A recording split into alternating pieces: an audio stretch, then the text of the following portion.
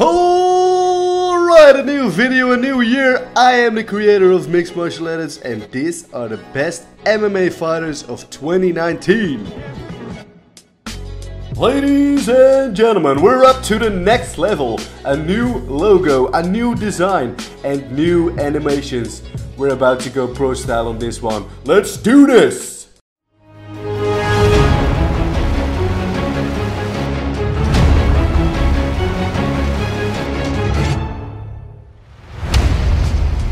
To Reef Design by hooking me up with some awesome animations. For more info, check the link in the description. So, what an awesome year we had with incredible fights, insane knockouts, ridiculous comebacks, gruesome nose jobs, horrifying chokes, unexpected slams, and much, much more. Without further ado, these are the best fighters of 2019. When making this video, I first thought about making a top 5. Number 1 was an easy choice for me. They stood so much out for me this year that I thought, hey, why not make only a video focused on the best fighters of 2019. So without further ado, number 1. Yes, I chose two fighters one has for me the knockout of the year, the other the fight of the year. One probably has the biggest fight of the year, the other the biggest crowd of the year. I'm of course talking about Jorge Masvidal and Israel Adesanya. You can say Israel won the real undisputed UFC belt, yet Masvidal won the BMF belt. Their performances were simply incredible this year, so let's start to recap their incredible achievements in 2019. Jorge Masvidal. Masvidal is undoubtedly at number one. A true born fighter, Masvidal was often involved in street fights from a young age. Yes, he fought one of Kimbo Slice's proteges on YouTube and defeated his ass. And probably a lot more that weren't on YouTube. And he of course holds the record for the fastest growing chart in UFC history. Yep, that really happened. Anyway, after a 16 month layoff, Masvidal faced Darren Till in 2019. Although dropped in the first round, he went on to win the fight via knockout in the second round. The win also earned Masvidal his second fight of the night and third performance of the night bonus awards.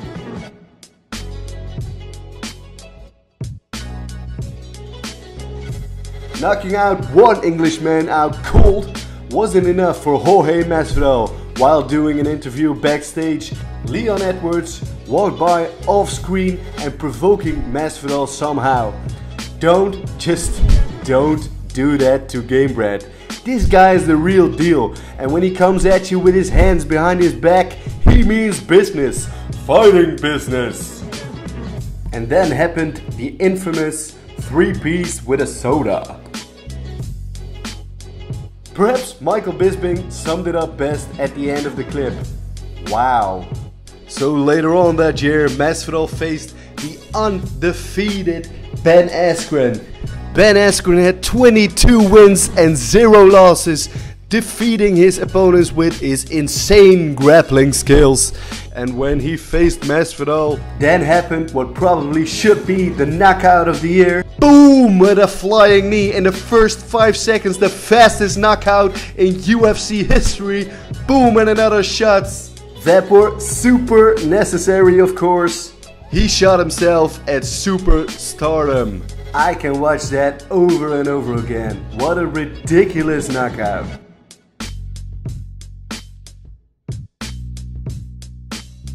Later on that year, Nate Diaz himself, after defeating Anthony Pettis, he called out Jorge Masvidal, calling it the defense of his BMF belt, and the UFC actually realized this.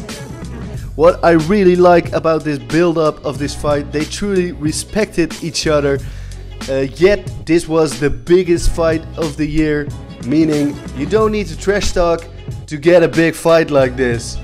They hyped up this fight with the incredible fights both fighters already had, and everybody was tuning in to see this fight. Masvidal was putting on a masterclass on Nate Diaz that night with some amazing striking display. The end of the fight was a bit of a lackluster at first. He won the fight via technical knockout via doctor stoppage between rounds 3 and 4.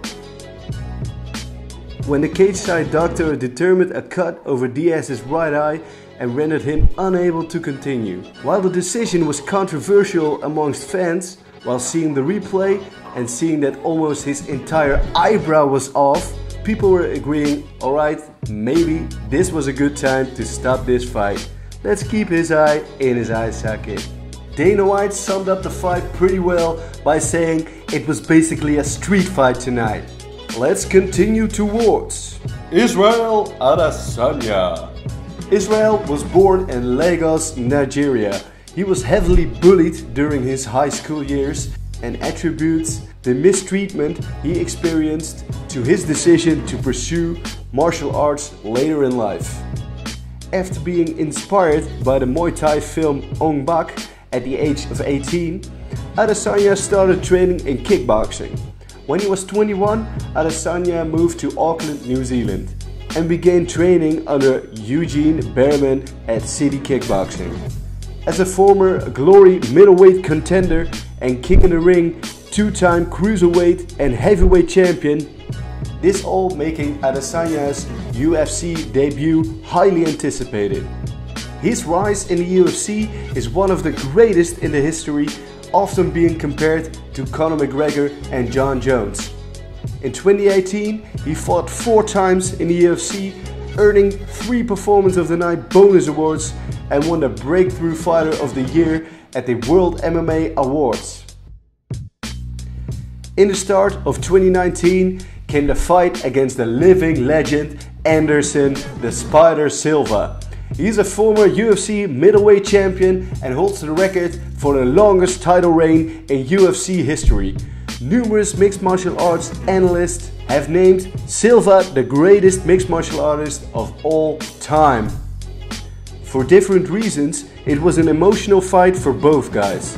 For Silva, being at the end of his career, fighting the future of the division, for Adesanya, fighting his idol that brought him to the MMA game. The build up to this fight was one of mutual respect. The fight was totally badass and had some awesome moments for the both of them. It was an incredible display of striking skills that showed that Silva still had something left in the tank and there was clear mutual respect and admiration during the fight. It was high level stuff and both fighters were doing it all with a lot of flair and swag. Enjoy some of these amazing highlights.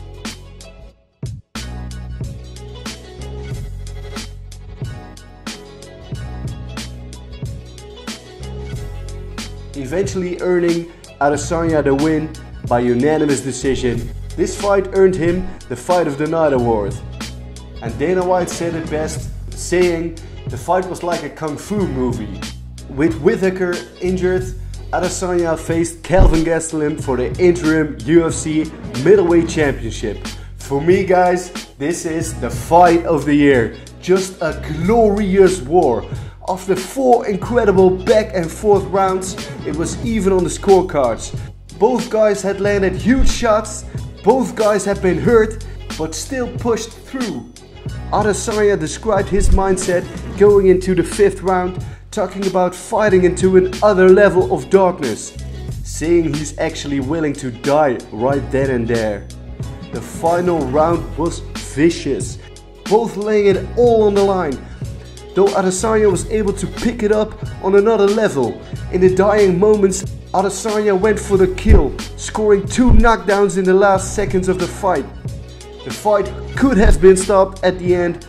To me, this was a fitting ending, giving also Kelvin Gastelum a ton of credit for fighting like an absolute warrior. Check out the reaction of Luke Thomas. I like this one the most. Holy shit. Holy shit. Holy shit. Check his channel for sure for some awesome, authentic MMA knowledge. Check the link in the description. Then it all came together to unify and fight for the undisputed UFC middleweight belt, facing Robert Whittaker, an absolute monster. He tore to the middleweight division, winning 8 fights in a row, beating the then seemingly unbeatable Yoel Romero twice in insane wars, both being Fight of the Year candidates. In front of a record crowd of more than 57,000 people, Israel had one of the greatest walks, I mean, dance to the octagon. What a showman this guy is! I most like it because all of this is genuinely the way Adesanya is. His awesome walkout showed the confidence of a true champ who was enjoying the roller coaster ride. In an interview back in 2018 with Ariel Helwani, Adesanya actually predicted this fight to happen for the middleweight belt. Israel always had the aura of a guy who knew something we didn't. In the lead up to this, he seemed to already know he was the best middleweight in the world. In the fight itself, Adesanya knocked Whittaker out in the first round. If not for the bell, it could have been stopped. In the second round, again he showed his superior striking, defeating Whittaker by knockout to become the undisputed UFC middleweight champion. So he actually knocked him out twice! Well, I hope you guys enjoyed the video. I had a lot of fun making it. It will take some getting used to doing the voiceover. I'm simply learning along the way. I'm planning to be a lot more active, so stay tuned for more upcoming videos. If you guys liked the video, subscribe and like. And if you have some awesome ideas for other MMA videos, comment below and let me know. Cholos!